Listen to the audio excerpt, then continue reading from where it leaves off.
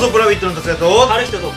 ということで今回は誰が強いジブリキャラクター最強ランキングトップ10やっていきたいと思います。優勝が決まるってことですそうなんですよ。前回、えー20位から11位までを発表したので見てない方は概要欄から見てみてください。では本日は早速10位から発表していきたいと思います。第10位。おっこと主。あらやっぱメジャーどころ来ますね。そうだね。ここれはもののけ姫に登場します。4本の牙を持つ巨大な白いイノシシの神ですね。500歳の最長老で目はすでに見えません。九州から獅子神の森を守るために海を越えてやってきた。他の獅子神を率いて人間に攻撃を仕掛けるということですね。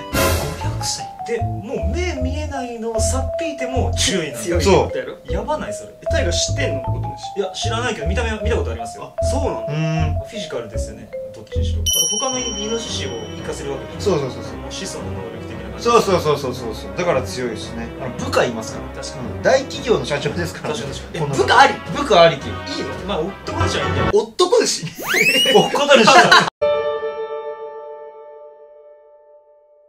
して第9位です。モロの君。加藤さり加藤さりじゃないよ。モロの君。磯のでもないいや違う違う違う違う。これはえっともののけ姫に登場する2本の尾を持つ白く大きな300歳の犬神です。人間に捨てられたサンを育て娘としてそばに置く。人の言葉を理解し高度な知能と強靭な力を持つ。獅子神の森を脅かす烏帽子を恨み命を狙っている。なるほどね。モロさんは強い人ですね。もののけ姫なんか超怖いからね。怖いんだでけえしなんかそのまあサンを可愛がってるわけじゃないですか。それに近づいたアシタカに対して「お前いけんのかな?」サン救えんのかそのブチギレするシーンあるのよ。えもう圧やばいっしょ。圧やばい。ばいよ。覇王色に出てるでしょ。出てる。これもののけ硬いねやっめっちゃ怒るよねあのめちゃくちゃ怒る。違ういやいやそんな盛り方しない。続きまして第8位です。ゼニーバここら辺ぱ大御所来ますね。はい「千と千尋の神隠し」に登場します。湯婆婆の双子の姉で坊の祖棒のママ気になる母これなんて読むの？な白白 いや俺これ祖母って呼んだんだけどこれ何これ？白母そうじゃない。多分おばってことやろ。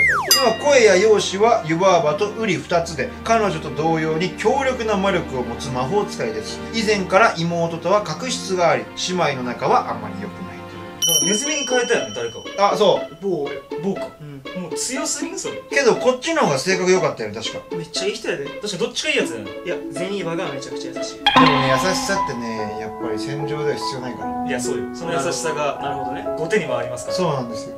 いや本気だから。本気なんだ。いやこっちも。本気だから。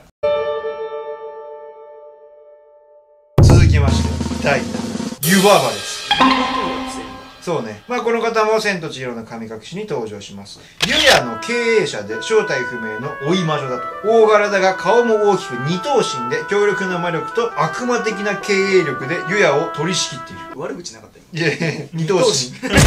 言わんでいいやろでも悪魔的な経営力って。うわ悪魔的だいやいや、マリ。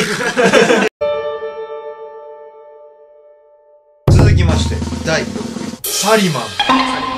全然わかんねえ。これもハウルなんですよまあ、これはハウルの動き城に登場します。マダム・サリマンとハウルが呼ぶ師匠です。魔法学校の校長であり宮廷に使える王室付き魔法使いでもあると。車椅子の老婦人豊かな銀髪を玉ねぎのようにお団子頭にした穏やかな女性ながらハウル以上に強大な魔力を持つ魔女です。また魔女。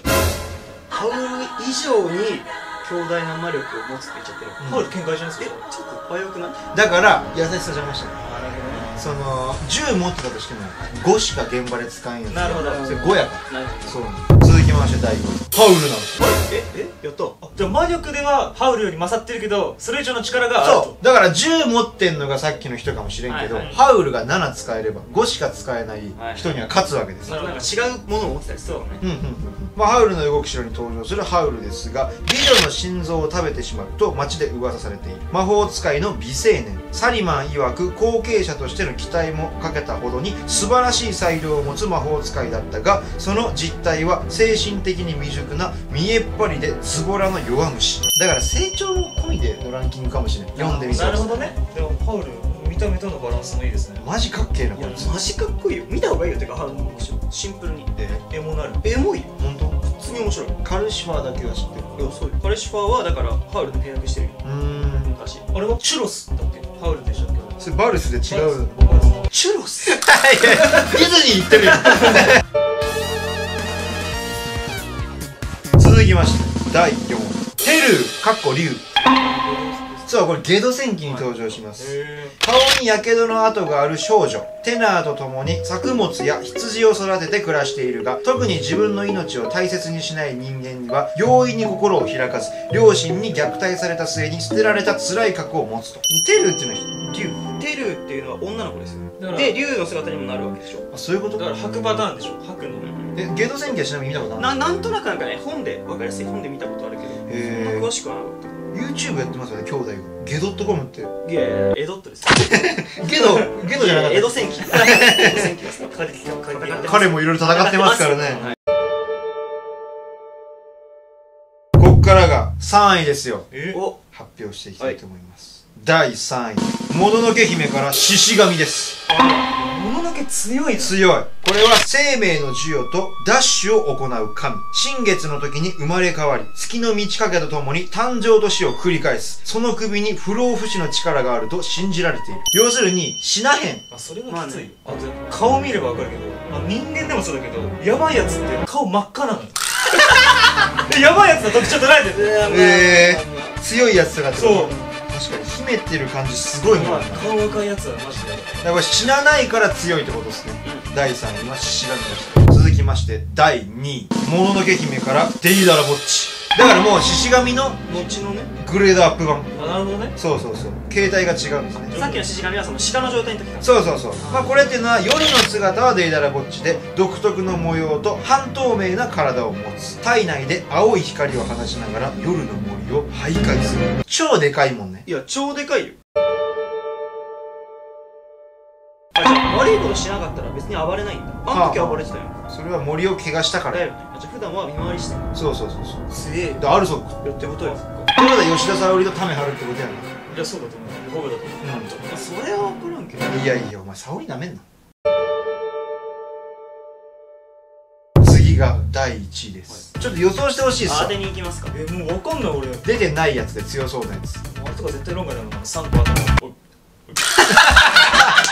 あれは無理やろ。あれはまあまあまあ。あれは限界あるな魔女の宅急便ってジブリ？ジブリですよ。なんだっけ主人公？キキ。キキ魔法使い。俺思ったけどキキはまだちょっと未熟すぎ。て弱いしまだ。まだ弱いかなっていうのもあるけど。でも変身できる系がマストだもんねああ確かに。あの千と千尋の千尋の両親も変形できますよ豚になった。あれさせられたんやねしたわけじゃないの。そう。したわけじゃない。わからないですね。これいいランキングなんじゃないですか。じゃあ第1位発表したいと思います。第1位風の谷のナウシカより巨神兵です。あら。1000年前に産業文明を崩壊させた火の7日間で世界を焼き払ったと言われる巨大な人型人工生命体。作中の時代ではその全てが化石となり不快にその亡骸を晒していると考えられていたがペジデ市の地下で発見された一個体が復活する。であの有名なロボっすよね。ガンダム。でかいやつ。ガンダム。ガンダム。強すぎんそれだって7日間で世界を焼き切ったみたいなことやそういうことや。だってすごかったよ。作中でも光ピシュって出したらバーンですからえじゃあ神は7日で世界を作ったけど。いや余裕で壊せますよ。こいつらは7日で世界を壊せる。え目からレーザー出すんですか？うあそれはきついよ。だって巨大な神の兵ですから。こいつも神ですよ。神系強いねやっいやこれは反則だな。これと猫バスでやったら絶対勝てないもん。ん猫バス半分になるやろミー。っつって。ドーンよ確かに確かに誰も無理や。誰だろう。まだ希望あるやつ探す。いやデイダラボッチやろ。やっぱもうそまあの大きさ的にね。そう。フィジカル勝負ですそうそうそうそう。あとデイダラボッチが死なないとしたら。確かに確かに確かでそのこの神の兵なわけじゃない。巨神兵も、うん。一生戦いに多続ける。分終わらないでたんですようん。獅子神も神ですから。神対神。そうそうそうそう。ゴッド VS ゴッドですハーフゴッドじゃんもう